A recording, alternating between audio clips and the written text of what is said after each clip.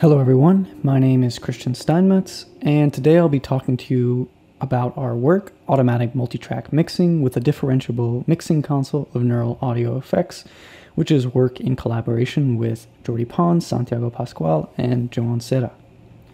To begin, I want to talk about what is mixing and what is automatic mixing. So, in the process of creating a song, the you know musicians will work with a recording engineer that's going to record in many cases individually these different instruments. And once they've been recorded, the mixing engineer's goal is to create a cohesive mixture of those different elements. And in general, this is carried out using a digital audio workstation where the audio engineer has the ability to you know, apply processing to each channel individually and create a whole mixture.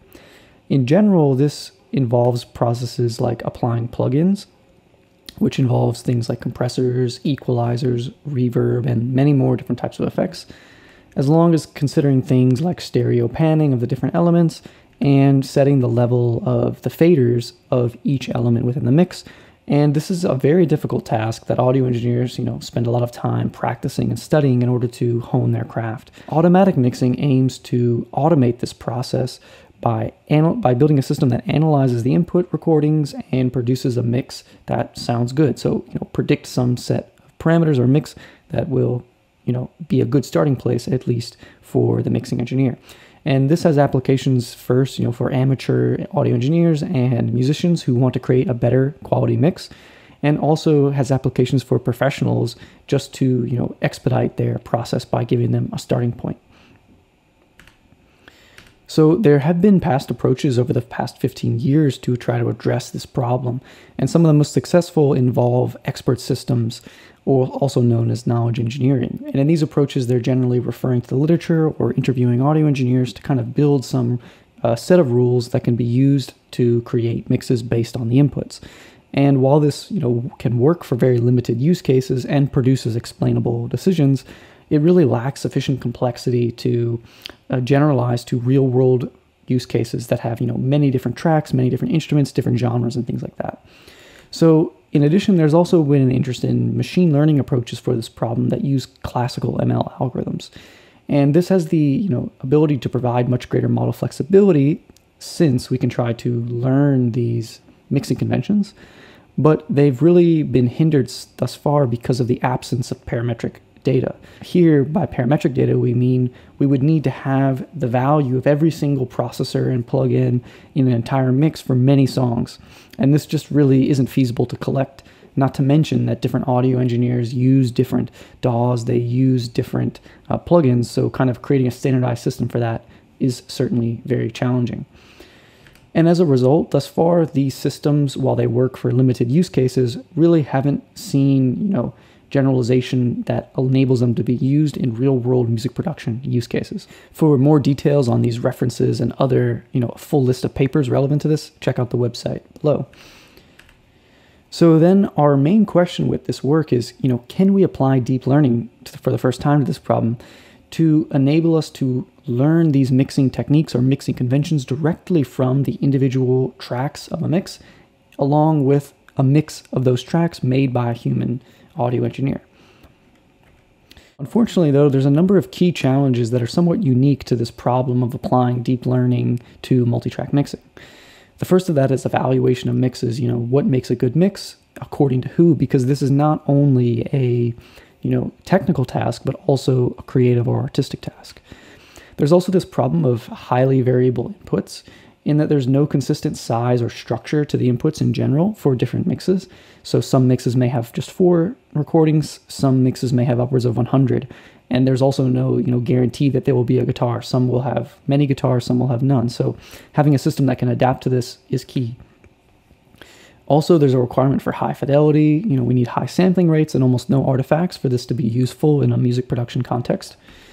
And finally, we need to provide some level of user interaction. Since our system is going to produce kind of a starting point, audio engineers need to be able to you know, see what that prediction was, what were the parameters, and also need the ability to go in there and adjust it so it's you know, fits their goals. So as a starting point, we consider that we could use traditional DSP audio effects as a strong inductive bias for this task. And that may look like something here on the left where we have multiple audio channels going into the mixing console as well as to a neural network called the controller network here. And its job is to analyze the signals and predict the parameters for each channel in the mixing console, uh, shown as those knobs there. The problem though is that by default there are some processors in the you know mixing console which we cannot easily compute gradients for so what we propose instead is to train a neural network to model a single channel of the mixing console and then copy this neural network for as many input channels as there are. And then this will allow us to construct, you know, a differential mixing console proxy. So here's a more detailed look at our proposed approach in which we have the controller network on the left and the transformation networks on the right, which are emulating the individual channels of the mixing console. Note here that we apply weight sharing across all the input channels. So every encoder here is the exact same network, just copied n number of times. Same for the post processor as well, and the transformation network. And this weight sharing essentially enables us to handle, you know, unknown number of tracks at inference time uh, and during training. So, as I said before, the encoder's role here is really to extract features from the inputs that will be useful for creating the mix. The post processor's goal then is to given this information about the input and all the other input channels, which is given by this context vector, we will then predict the parameters for the respective channel.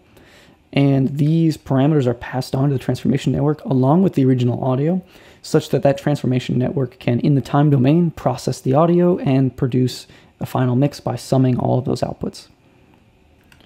So in the next step, we're just going to go through the different subsystems. And here we consider the encoder, which its goal is to extract information to make mixing decisions. And in this case, the encoder is a simple CNN with the VGG-ish type that's been pre-trained on AudioSet. And it takes as input a MEL spectrogram and outputs a 128 dimensional embedding. And we apply this same encoder to all the inputs so that we can generate these embeddings. Now that information gets passed on to each post processor, which is trying to aggregate that information in order to make mixing decisions.